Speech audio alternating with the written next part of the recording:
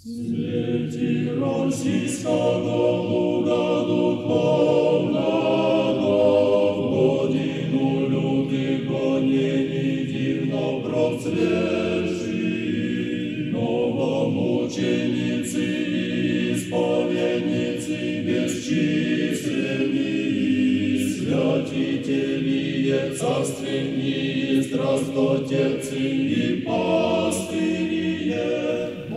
к моменту э, празднования столетия или основания Русской зарубежной церкви было решено написать э, проект эту икону.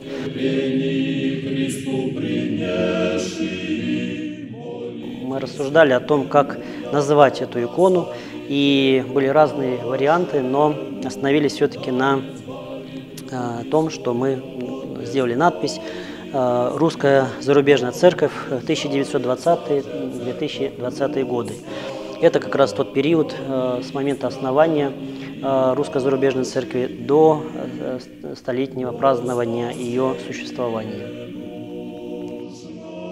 Икону заказала наша епархия, и исполняли ее в Москве. Э, Иконописец, который более 20 лет трудится в Свято-Тихоновском институте. На иконе изображены э, в первую очередь э, Пресвятая Троица, которая э, легла в основу этого изображения, этого проекта.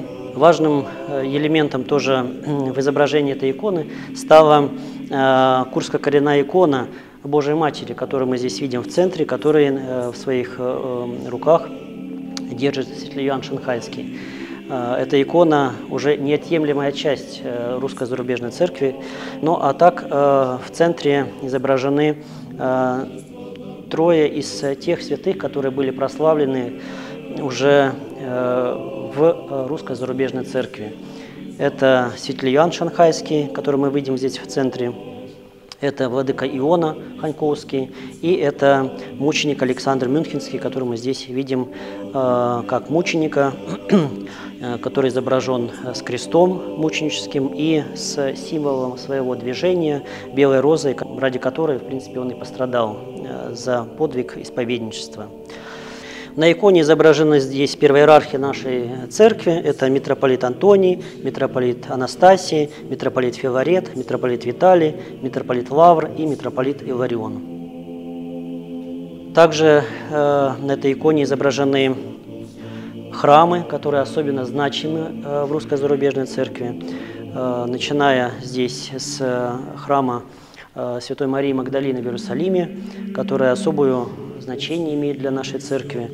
Э, Также храм всех скорбящих радости, которую, который построил в свое время Иоанн Шанхайский, и э, также э, храм э, монастыря в Дж- Джорданвилле, Свято-Троицкий монастырь, где находится с 1948 года также наша духовная семинария, и с этого момента она готовит своих э, будущих священников для служения в наших храмах. Ну и также э, здесь изображен э, четвертый храм. Это храм святых новомучеников, исповедников российских, который являлся и, насколько я знаю, по сей день является единственным храмом, который посвящен в зарубежной церкви святым новомученикам, исповедникам российским. Очень важным символом э, всего проекта был тоже корабль, на котором эм, русская эмиграция в- э, также с духовенством покидала э, российские земли и отправлялась уже в дальнее плавание на запад, эм, конечно же, желая и вернуться в какой-то момент, но промысл Божий так устроил, что и духовенство, и миграция уже долгие десятилетия осталось за границей и здесь несет свою миссию э, про- проповедания православной веры. Ну, сама икона выполнена в традициях древней иконописи. Как мы знаем, здесь э, доска, которая изготовлена из липы. Ну, а так на икону наносится э, такой слой сперва из э, м, раствора, который делается из э, мела и рыбного, рыбного желатина. Это все так варится, смешивается, потом наносится эта грунтовка, ну и потом уже э, делается рисунок. Использованы только натуральные пигменты. э, которые встречаются в разных областях, так скажем, нашей природы. Это где-то и какие-то оксиды, которые появляются на металле, это какие-то земли, которые вот, э, можно где-то найти. Это также камни, которые растираются потом в порошок и потом уже используются в иконописи. Ну и, конечно же, яичный желток, который неотъемлемая часть традиционной иконы. То есть э, икона пишется на яичном желтке, и эта смесь размешивается и уже наносится красочный слой. И наносится золото. Это сусальное золото, которое в данной иконе выполнено в двух слоях.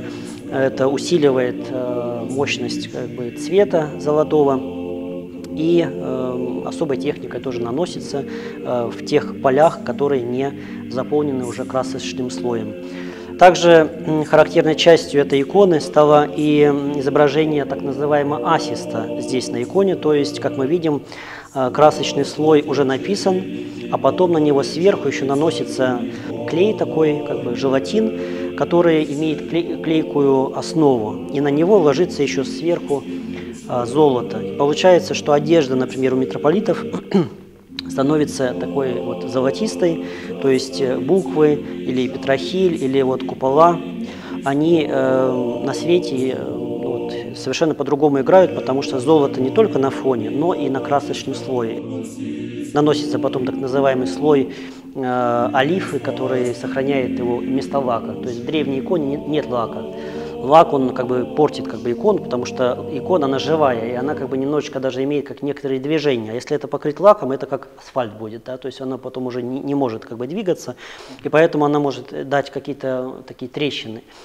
Олифа – это фактически оливковое масло, которое э, имеет еще некие такие, э, в общем, ну, добавки, как бы, и она, когда наносится где-то сутки, вот она бывает на иконе и э, проникает сквозь все красочные слоя даже до грунтовки.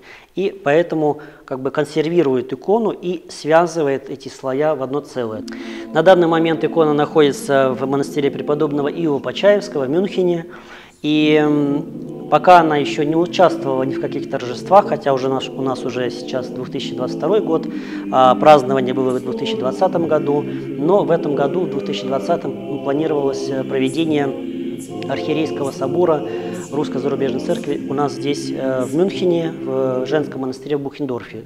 Но в связи с ограничениями ковида э, невозможно было созвать этот собор, поэтому многие архиереи не смогли прилететь на это мероприятие, и поэтому э, как бы, совещание архиерейского собора было перенесено на позже. И вот милостью Божией в этом году, как раз два года спустя, э, в сентябре этого года, состоится как раз архиерейский собор э, в городе Нью-Йорке, где также будет избран новый первый иерарх нашей церкви. И мы думаем, что эта икона тоже примет участие вот в торжествах этого события.